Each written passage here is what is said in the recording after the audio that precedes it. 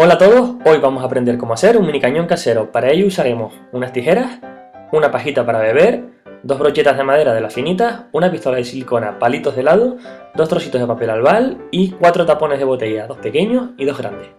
El primer paso, como siempre, es muy sencillo. Haremos un pequeño agujero en los dos tapones de botella grandes. Luego de hacer los agujeros, tenemos que atravesarlos, como ves en pantalla, con la brocheta. Hacemos el agujero hasta que entre y con cuidado, poquito a poco, para que la brocheta no se rompa, vamos colocando la rueda. El siguiente paso será cortar un trocito de pajita de aproximadamente unos 5 centímetros o unos 6 centímetros y pegarlo al, extremo que acabamos de hacer. Ahora solamente nos queda con, con el otro tapón que hemos agujereado, introducirlo por el otro extremo y llevarlo hasta el otro extremo de la, de la pajita que ves de color verde. Con ayuda de la mano, pues partimos el trocito de brocheta sobrante y ya tenemos prácticamente lo que va a ser el eje de nuestro, nuestro carrito lanzacohetes.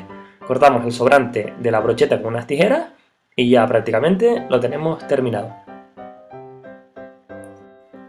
Haremos exactamente el mismo proceso con los tapones eh, más pequeñitos.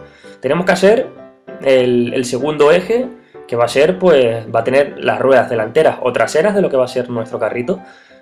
Es exactamente lo mismo, eh, metemos la brocheta, la pajita y recortamos los extremos y ya está, ya tenemos nuestro eje pequeño. El siguiente paso será con uno de los palitos de lado, ponemos un poquito de silicona caliente y lo pegamos justo en el centro de, lo que es el eje de las ruedas grandes. Y en el otro extremo, pues nada, lo mismo, pero esta vez con el eje pequeño. Ahora, con un otro, cogemos otro, otro trocito de palito de madera, y le cortamos uno de los extremos. Ponemos un poquito de silicona caliente en, uno de los ejes, puede ser el pequeño o el grande, yo he querido usar el grande y lo pegamos. Lo dejamos secar y le cortamos la punta de arriba. Eh, se la hemos cortado pues para poder poner un poquito de silicona caliente y que sea más fácil pues hacer este pequeño triángulo que hemos hecho.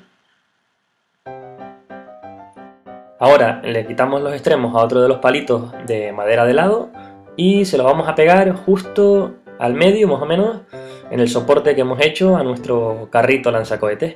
Esto va a ser el, soporte que va a sustentar los cohetes. Para hacer los, los cohetes, un trocito de brocheta, le enrollamos un poco de papel albal y nada, lo sacamos un poquito, cerramos y presionamos sobre la mesa para que quede cerrado por debajo. Yo les he puesto un poquito de cinta aislante arriba simplemente para que queden bien cerrados y bueno, hemos repetido el proceso y tenemos exactamente dos.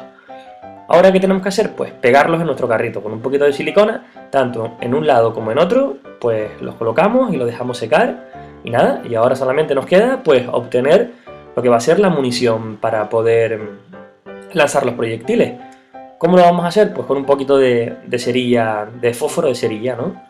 Lo metemos eh, dentro de los cohetes y una vez que estén nuestros cohetes cargados, ya solo nos faltará introducir el proyectil, que será pues la punta de una brocheta de madera, la hemos recortado y nada, la metemos dentro, la dejamos colocada y con la ayuda de una brocheta pues la misma que hemos cortado, la punta, pues lo empujamos hacia abajo, presionamos para cargarlo bien y que toque el fondo y nada, ya estamos preparados para hacer nuestras prácticas de tiro.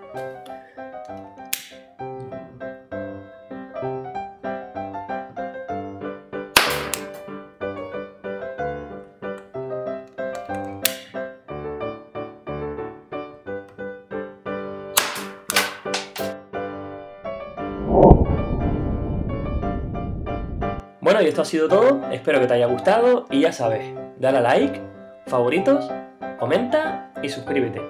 Un abrazo a todos y nos vemos en el próximo vídeo.